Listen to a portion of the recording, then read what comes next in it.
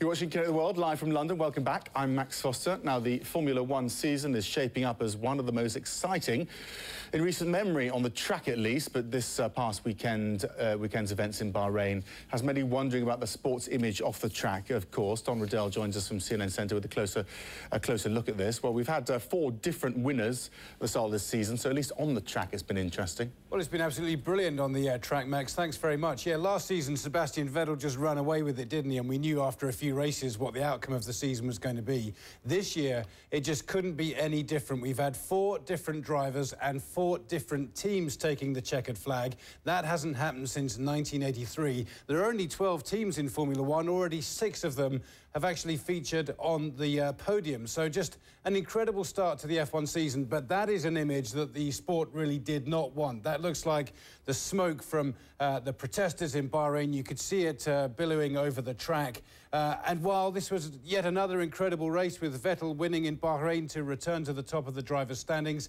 it really didn't get very much coverage, didn't it? The uh, news media all around the world uh, focused on the situation in Bahrain and the debate reigned and continued right throughout the weekend should F1 even have been there. Well, earlier I've spoken to uh, one of the journalists that were covering the race, uh, Channel 4 ITN's Jonathan Miller, who wasn't accredited to be in Bahrain. He was actually detained by the police and he's now been released and has returned to Britain. This is his verdict on how F1's image has been affected by the events in the last few days.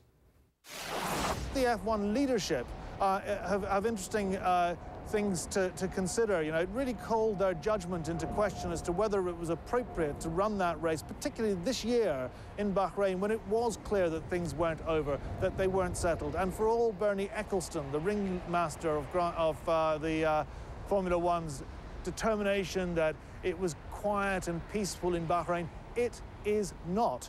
And, uh, you know, I think F1's reputation in the eyes of the broader world will probably have been damaged.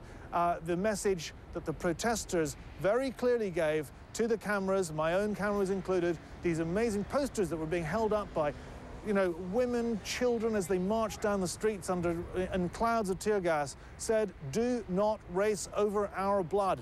And essentially, that is what F1 did do not race over our blood. It's powerful words, isn't it, Don? But